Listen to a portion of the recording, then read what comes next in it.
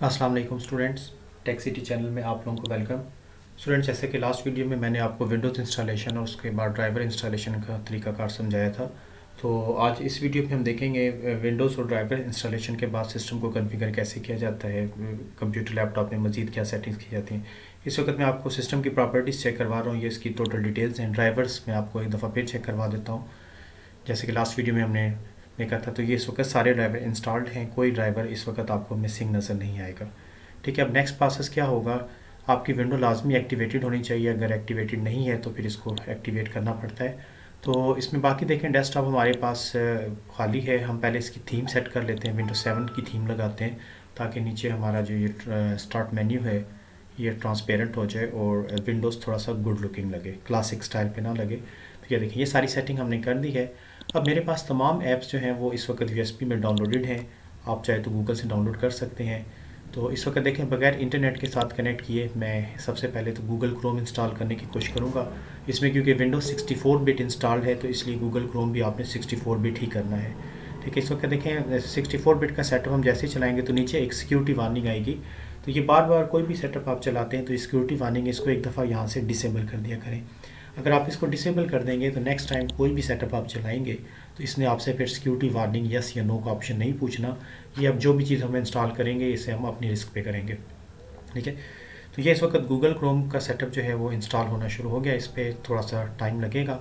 और नेक्स्ट हमने आई वगैरह भी इंस्टॉल करना है। तो आई जो है इंटरनेट डाउनलोड मैनेजर इसको इंस्टॉल करने के लिए आपने याद रखना है कि गूगल क्रोम आपने पहले इंस्टॉल करना है। इसको बाद में इंस्टॉल नहीं करना, वरना इसकी एक्सटेंशन की कन्फिग्रेशन में सम टाइम प्रॉब्लम फेस करना पड़ जाता है। तो इस वक्त देखें विदाउट इंटरनेट यूएसबी फ्लैश में जो मेरे पास ऑफलाइन सेटअप था क्रोम का, उसके ज़रिए मैंने गूगल क्रोम जो है अपने सिस्टम में इंस्टॉल कर दिया है। और ये इसकी जो है, देखें फ़र्स्ट लुक आ गया नेक्स्ट अब जनरल यूज़र कोई भी हो, अगर वो विंडोज़ यूज़ करता है, उसको यूट्यूब से वीडियो डाउनलोड करके या किसी किस्म की वीडियो या मूवी देखनी पड़े तो उसके लिए सबसे बेस्ट मीडिया प्लेयर जो होता है, वो होता है वी मीडिया प्लेयर तो VLC मीडिया प्लेयर बाकी अपनी अपनी चॉइस है, जो लोग कुछ और यूज़ करना चाहें, अपने टेस्ट के मुताबिक कर लें। But VLC is the best media player तो ये भी मेरे पास ऑफलाइन सेटअप जो है 64 बिट का यू में ऑलरेडी डाउनलोडेड था। इसको भी मैं इस वक्त इंस्टॉल करने लगा और ये इंस्टॉलेशन देख लें, इसकी भी कंप्लीट हो चुकी है। ठीक है नेक्स्ट जो है, अब हम इसमें अपने सिस्टम में internet download security sorry antivirus जो है माइक्रोसॉफ्ट सिक्योरिटी इसेंशियल 64 बिट वाला ये हम इंस्टॉल करेंगे। ये सबसे बेस्ट एंटीवायरस कंसिडर किया जाता है। काफ़ी लाइट है। बाकी तो आप कोई भी एंटीवायरस कर लें 100 परसेंट तो सिक्योरिटी कोई भी आपको प्रोवाइड नहीं करेगा। बट इससे 80 परसेंट जो है वो ठीक हो जाता है। ठीक है? इसके अलावा जो विंडोज़ टेन और एट में जो उन्होंने सिक्योरिटी वायरस में विंडोज़ डिफेंडर दिया हुआ है वो थोड़ा सा इंटरप्ट करता है। तो सिक्योरिटी इसेंशियल को इंस्टॉल करने के बाद इसको अपडेट करना ज़रूरी है। इसके लिए आपका इंटरनेट कनेक्टेड होना चाहिए। तो इस वक्त मैं अपने सिस्टम को इंटरनेट के साथ कनेक्ट करने लगा हूँ। और इसको जब आप अपडेट कर देंगे तो ये जो आपको रेड कलर की ऊपर बार नज़र आ रही है, ये बार ऑटोमेटिकली ग्रीन हो जाएगी। और जब ये ग्रीन हो जाएगी तो फिर ये एक्टिवेट हो जाएगा, यानी ये प्रॉपरली स्कैनिंग का काम करेगा वायरस थ्रेड्स वगैरह डिटेक्ट करेगा। इस वक्त मैंने सिस्टम के साथ इंटरनेट कनेक्ट कर दिया है वो क्लोज़ करने के बाद अब हम अपडेट बटन पे क्लिक करते हैं। तो अपडेटिंग में अब थोड़ा सा टाइम लगेगा तो इसके लिए हम इसको फ़िलहाल मिनिमाइज़ कर देते हैं। और नेक्स्ट जो है, अब इसमें हम इंटरनेट डाउनलोड मैनेजर सबसे इंपॉर्टेंट चीज़। तो इसमें लाइसेंस वर्जन जो है, वो काफ़ी मुश्किल से मिलता है इंटरनेट से बट जिन आप में से, जिन व्यूवर्स को भी अगर ये आईडीएम चाहिए तो वो मुझे अपना ईमेल आईडी सेंड कर दे, मैं उसमें उनको सेटअप सेंड कर दूँगा। ये लेकिन ये आई के इंस्टॉलेशन का तरीका भी आप देख लें कि ये इस वक्त आई एप्लीकेशन हमने इंस्टॉल कर दिया है। अब आपने थोड़ी देर वेट करना है, इसकी कन्फिग्रेशन कंप्लीट होगी। ठीक है, ये हम ओके करेंगे, ये गूगल क्रोम और इंटरनेट एक्सप्लोरर में अपनी एक्सटेंशन सेट करेंगे इसके बाद हमने इसको लाइफ टाइम करने के लिए पैच चलाना होता है। ठीक है तो पैच पे हम डबल क्लिक करते हैं और विंडो हमारी 64 बिट है। तो 64 बिट का हम पैच चलाएँगे और यहाँ पे आपने पासवर्ड वन टू थ्री देना है। ठीक है, जैसे वन टू थ्री पासवर्ड आप यहाँ पर एंटर करके ओके करेंगे तो हमारा नेक्स्ट बटन पे क्लिक करेंगे इंस्टॉल करेंगे तो ये हमारा आई जो है लाइफ टाइम एक्टिवेट हो जाएगा। बस आपने ख्याल ये रखना है कि इसको आप आपने अपडेट नहीं करना।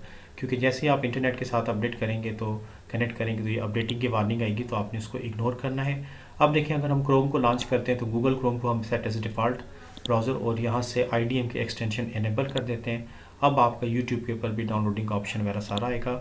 और ये लैपटॉप जिस स्टूडेंट के लिए मैं तैयार कर रहा हूँ बेसिकली उसने कहा, वो क्योंकि स्टूडेंट है यूनिवर्सिटी का तो उसने कहा था कि ऑफ़िस पे इंस्टॉल कर दीजिएगा वर्जन कोई भी हो।